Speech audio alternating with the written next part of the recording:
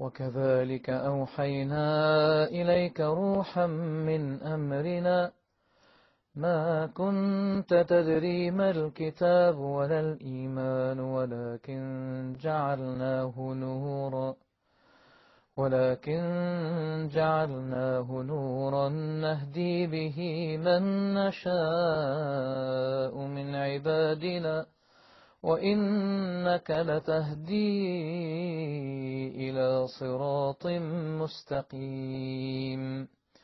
صراط الله الذي له ما في السماوات وما في الأرض. ألا إلى الله تصير الأمور. بسم الله الرحمن الرحيم. الحمد لله والصلاة والسلام على رسول الله وعلى آله وصحبه ومن والاه Assalamu alaikum wa rahmatullahi wa barakatuhu and welcome to another episode of Fundamentals of Faith. We've traveled far and wide in our journey in search of Tawheed and its precise meanings and implications in our life. And we've discussed in great detail Tawheed of Allah's Lordship and Tawheed of Allah's right to be worshipped. Before we finish up this series, we need to talk about the third aspect of Tawheed, and that is Tawheed in Allah's names and attributes. Stay tuned for today's show.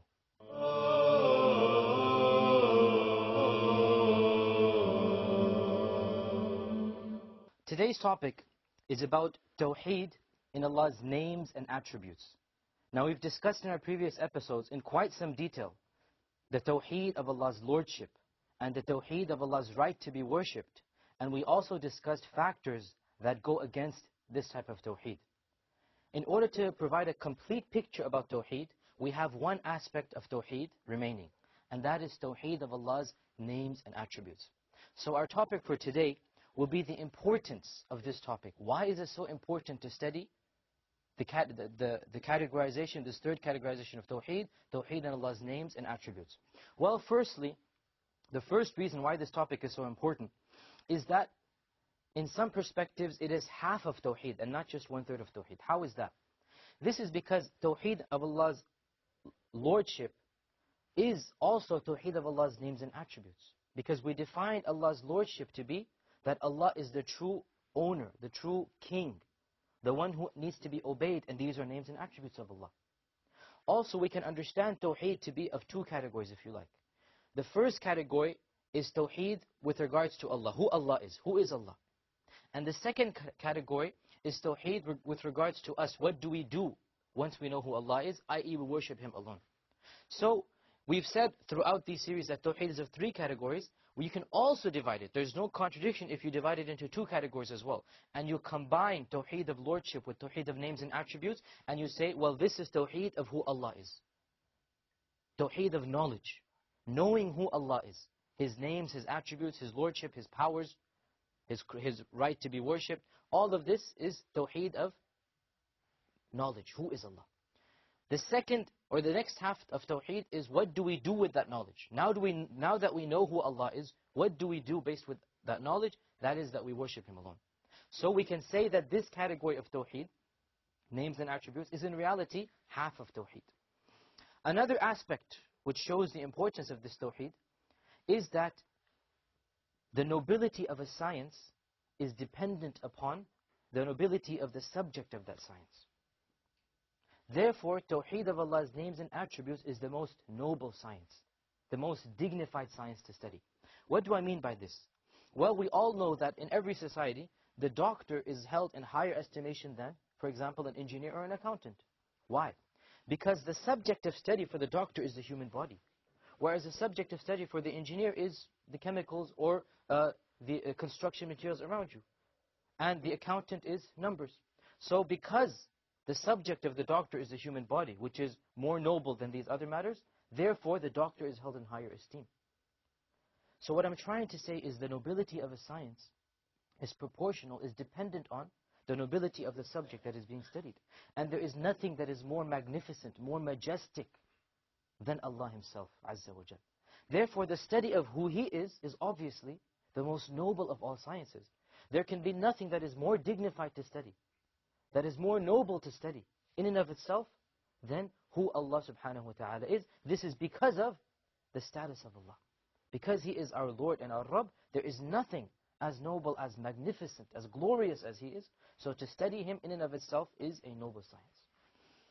Yet another aspect which shows the importance of this knowledge, knowledge of Allah's names and attributes, is that in reality this is one of the purposes that Allah created us. One of the purposes that Allah created us is to worship Him, or in fact the main purpose that Allah created us is to worship Him, and that worship cannot be based except upon a knowledge of who Allah is. In other words, how will you worship Allah if you don't know who He is? Therefore, it can be stated that one of the reasons that we are in existence, that we have been created, is to know Allah. In fact, Allah clearly says this in the Quran, Surah Talaq, verse 12. Allah subhanahu wa ta'ala says that Allah is the one who has created the seven heavens and the seven earths.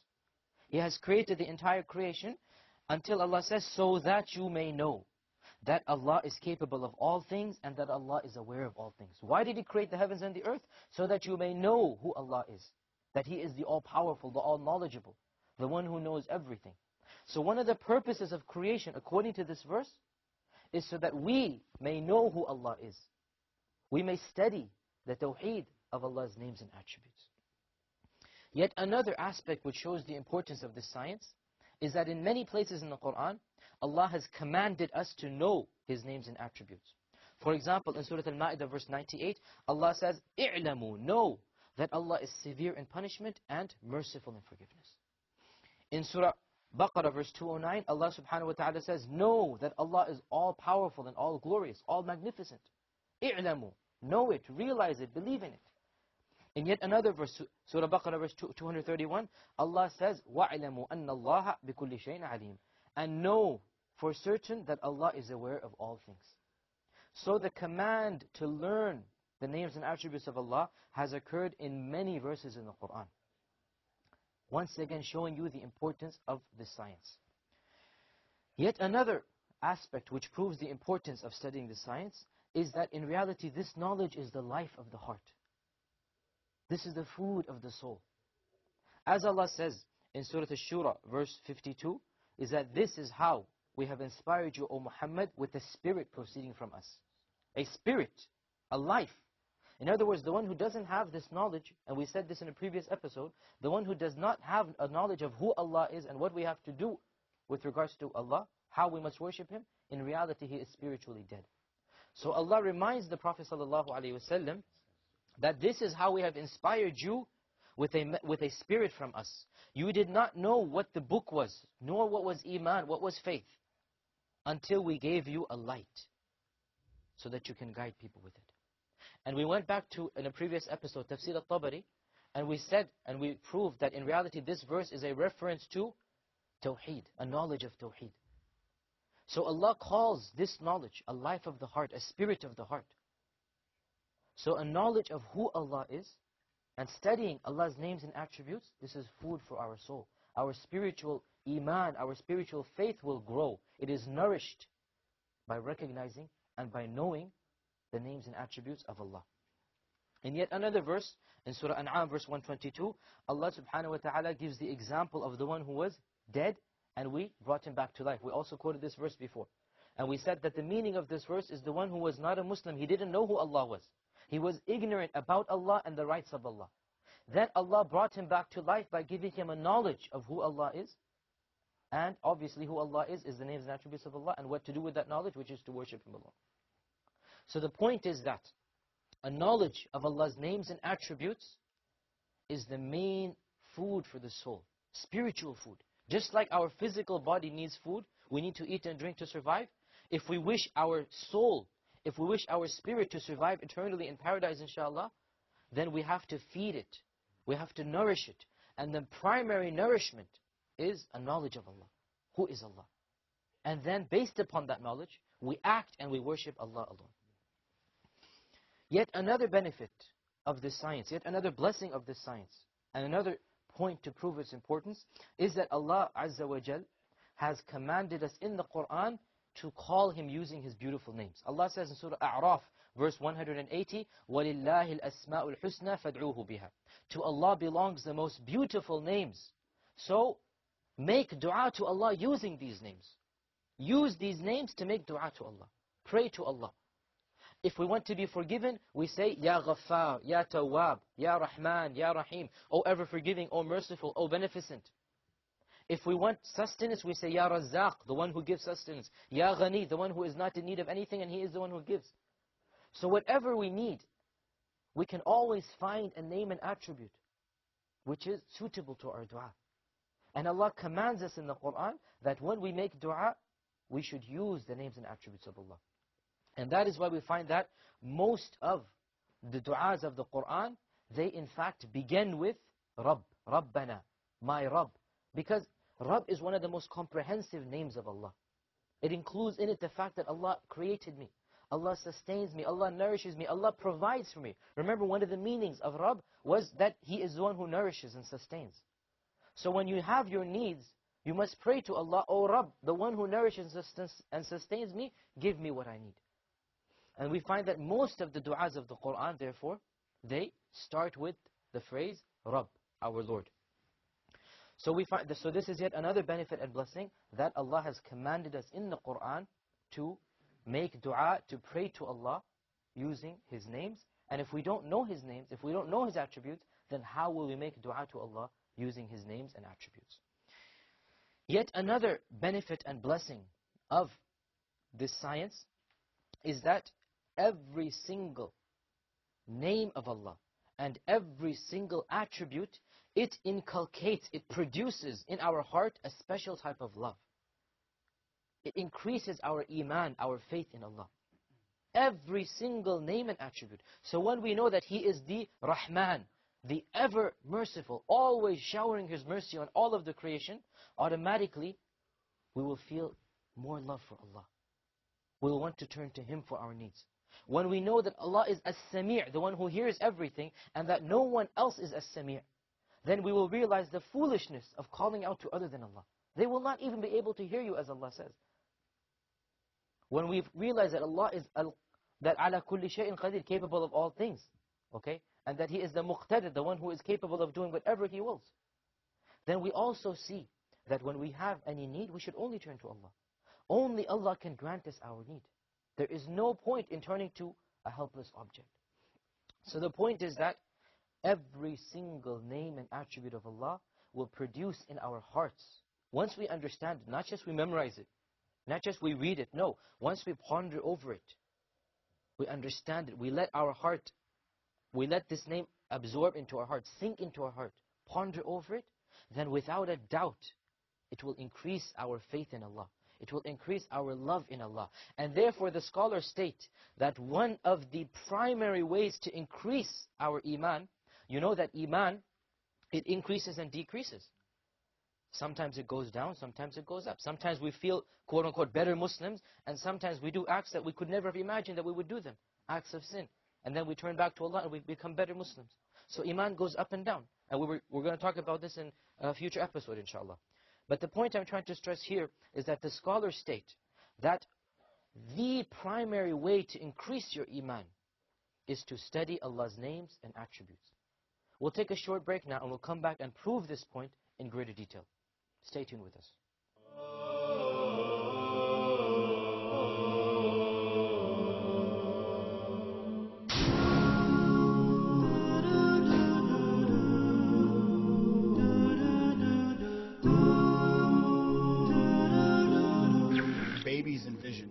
Is a fascinating, fascinating. Every time you come, I'm just uh, fascinated by what you bring and the, the images you bring and, and uh, the way you describe the eye. It's an amazing, uh, amazing tool that we have been given. Yes, yeah, Um, The first few months, first two to three months is an extreme, uh, they are extremely important uh, to have to develop the binocular vision.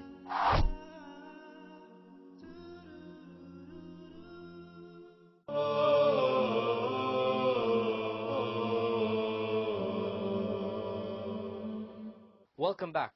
Uh, we were discussing the fact that every single name and attribute of Allah produces a love, produces a, a, an increase in faith. And that this is the primary way to increase our faith, our iman in Allah subhanahu wa ta'ala. So let's go back to the books. Let's go back to our sources. And remember, over and over again, in this episode, And in all our episodes, we go back to the Quran and Sunnah. We'll take you back to the sources of Islam. These books that are behind me are not meant for props or decoration. No. We go back to them, we open them up, and we seek guidance from them. Because they are the Quran and the Sunnah, they are our guidance and source for life. So let's go look up one narration which proves to us the effects that the names and attributes of Allah has on the Muslim. We turn to Sunan Ibn Majah, hadith number 181. And we find a beautiful hadith of the Prophet ﷺ in which the Prophet ﷺ said that your Lord laughs at the one who is in despair. In other words, he is in despair of receiving any good from Allah. He is making dua to Allah, he is praying to Allah for some type of need of his, and his dua has not yet been responded to, so he feels depressed, right? So your Lord laughs at this person, knowing that his situation will be changed very soon, but he doesn't know that. So Allah is laughing that the servant feels so much despair, yet the mercy of Allah will come immediately. You understand the hadith? The hadith states that Allah laughs at the servant who he's making dua, he's making dua, and in his heart he thinks, okay, Allah will not respond to me now. He's given up hope. Yet Allah knows that He will respond to him immediately. Maybe after a little while. So Allah is amused at the despair of the servant, even though even though, as they say, the light is right at the end of the tunnel, or the, the, the mercy of Allah will just come. So the Prophet ﷺ said this hadith. The companion that heard it, his name was Abu Rizin. He said, Ya Rasulullah, O Messenger of Allah, does our Lord laugh? Does our Lord laugh? He's asking. Because this is an, an attribute of Allah. Remember we said every name and attribute increases the iman. So the Sahaba, when he heard that Allah subhanahu wa ta'ala laughs, he asks. He asks the Prophet does our Lord laugh, Ya Rasulullah? The Prophet said, yes, na'am. So the companion answered, and this is the point. If that is the case, then I will never give up hope from receiving good from a Lord that laughs. If my Lord laughs, then I will never give up hope of receiving good from Him. So immediately, look at the effect of this attribute in his heart. As soon as he heard that our Lord laughs, in a way that Allah knows best, we don't ask how, and we're going to talk about this in our next episode, but he heard that Allah laughs. Immediately his iman went up. And he said, if that is the case, then I will always expect good. I will always be optimistic about receiving the mercy of Allah. And this hadith clearly shows you that every single name and attribute of Allah produces a certain love, an increase in iman. And this is one of the blessings of studying the science of Tawheed, of the names and attributes of Allah. Yet another blessing of studying this science, we turn to Sahih Bukhari, hadith number 7374. And we state that another blessing of this science of Tawheed of Allah's names and attributes is that whoever loves the names and attributes of Allah will enter paradise. What is the proof for this? We turn to the hadith, this hadith that we mentioned, and it is narrated that a man during the lifetime of the Prophet ﷺ would always recite قُلْ هُوَ اللَّهُ أَحَدٌ Every single rak'ah in his prayer he would recite this surah. And maybe another surah as well, but he would always recite this surah. He would never give up reciting this surah. So, when uh, the people heard this, they said, why, why is he doing this? Why is he always reciting Surah Al-Ikhlas in the, every single rak'ah? So the Prophet ﷺ asked him, why do you do so? He said, so he said that I do so because it describes my Lord, and I love to hear his descriptions. قل هو الله أحد الله الصمد لم يلد ولم يولد ولم يكن له كفوا أحد This entire surah is about the names and attributes of Allah and because of this it is equivalent to a third of the Quran as we know. As we know, the Prophet ﷺ said that this surah, Surah Al-Ikhlas, is equivalent to one third of the Quran. Why? Because it describes Allah Azza wa It's only three or four, four verses, but because its subject is so grand, the names and attributes of Allah, because it discusses who our Creator is, then this one small surah is equivalent in its blessings, in its message, to one third of the entire Quran. So, when the Prophet ﷺ asked him, why does he do so? He replied, because it describes my Lord and I love to read about his description. So the Prophet ﷺ said, inform him that his love for this surah has made Allah love him. So having a love of Allah's names and attributes allows us to achieve the love of Allah. Having a love of Allah's names and attributes makes us amongst those who have a greater chance of going to paradise. Just like this man here. He would always recite Surah Al-Ikhlas. And it's something very small, only three or four verses, four verses. But why did he used to recite it? Because he said it describes my Lord and I love to read about his descriptions. I love to read the names and attributes. So the Prophet ﷺ said, in another narration, he said, his love for this surah has caused him to enter paradise. His love for this surah has caused him to enter paradise. And this is why we find that, for example, Ayatul Kursi, or the verse of the throne, this is the greatest verse in the Quran. As the Prophet ﷺ said, the most blessed. What is it about? It is about nothing except the names and attributes of Allah, the power of Allah, the knowledge of Allah. The entire verse is about who Allah is. So this verse is the greatest verse in the Quran. And Surah Al-Ikhlas, which also describes Allah, is also one of the greatest surahs of the Quran. One third of the Quran equivalent to it. Why? Because of the importance of the subject matter. This is yet another blessing of Tawheed of Allah's names and attributes. Yet another blessing, we turn to another hadith in Sahih Bukhari. Hadith number 7392. And we state that of the blessings of, of this Tawheed, this category of Tawheed, is that whoever studies it and whoever memorizes the names of Allah will enter paradise. The Prophet ﷺ said that to Allah belongs 99 names. To Allah belongs 99 names. 100 except for one. It's an emphasis. He said 99, then he said 100 minus 1, which is 99. Whoever memorizes these 99 names will enter paradise. Now what is the meaning of memorizing here? As the scholars state, it means not just verbally memorizing them. Obviously, verbally memorizing them, understanding them, believing in them, worshipping Allah through them, and making dua through them as well. So when a person puts all of these names in his heart, he absorbs these 99 names of Allah. He allows his body and soul to digest these names and starts acting upon them, then the Prophet ﷺ said that this person will enter paradise. Yet another blessing of studying the names and attributes of Allah is that this is this subject is one of the primary ways of appreciating our purpose in life and of experiencing self-contentment and happiness. When we know who Allah Azza wa is, when we understand the power of Allah, the majesty of Allah, when we study and appreciate the names and attributes of Allah, then and only then will we realize our insignificance. Will we turn to Allah for every need. Will we realize that our whole purpose in life, our sole purpose, we have no other reason to exist except to worship Allah Azza wa Jal. And this comes about as a result of knowing who Allah is. So, a knowledge of Tawheed, of Allah's names and attributes, allows us to know ourselves, to know our proper state and our proper level in life.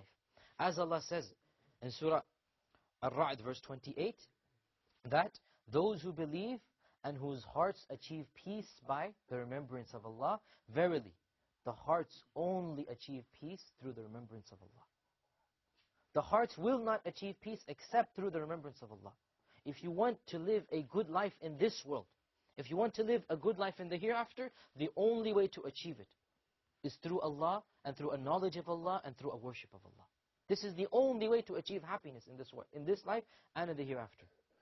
In another verse in Surah Al-Hashr, verse 19, Allah subhanahu wa ta'ala says, And don't be like those who forgot Allah, so they forgot themselves. This is a beautiful verse, my dear brothers and sisters. Don't be like those who forgot Allah and they forgot themselves. He who forgets his creator forgets his purpose in life and he forgets himself. The primary way to understand, the primary way to realize our purpose in life is to study who Allah is. When we study the names and attributes of Allah, we realize why we are here. We realize that the greatest thing for us to do is to worship this Allah. To worship this Allah who is so all-powerful, almighty, who has so many beautiful names and attributes. The tawheed of Allah's names and attributes is a fundamental building block of our iman, of our faith. Without it, we will not have a proper idea, a proper understanding of who Allah is. If we don't know who Allah is, how we, will we worship Him properly? Therefore, it is essential that every Muslim have a basic knowledge of this tawheed as well. Who is Allah? What are His names and attributes? How can I worship Him better? How can I increase my faith in Him? It is a basis for all other sciences. A knowledge of this science is a basis for all other sciences. Allah says in Surah Al-A'raf verse 58 that أَلَا لَهُ الْخَلْقُ وَالْأَمْرُ To Him belongs the creation and to Him belongs the command. Everything in existence either goes back to the creation of Allah or to the words and the commandments of Allah. So everything in creation goes back to the names and attributes of Allah. As Allah says in this verse, that to Him belongs the creation and the command. The command is His speech. His speech is uncreated. In the Quran, for example, it is not created. Everything else besides Allah and His names and attributes is created. So Allah says everything goes back either to His creation or to His speech, to His command. Therefore, all the sciences go back. All the sciences return to the tawheed of Allah's names and attributes. So the tawheed of Allah's names and attributes and the knowledge of this tawheed is the fundamental science on which all other sciences are based. The last reason that we should study this science is a very simple one. And that is that throughout the centuries, many different groups have evolved, many different sects, many different deviations have come with regards to the proper understanding of this very important topic, the topic of Allah's names and attributes. Therefore, it becomes imperative upon us to go back to the sources and see what is the truth in this regard. How should we understand these names and attributes? What should we do with them? Because there's so much confusion, so much ikhtilaf, differences. What is the correct opinion? Well, the correct opinion will be our topic for next session. How do we understand these names and attributes of Allah? We'll go back to the sources and we'll see what they have to say about this. Until next time, we hope to see you then. Assalamu alaikum wa rahmatullahi wa barakatuh.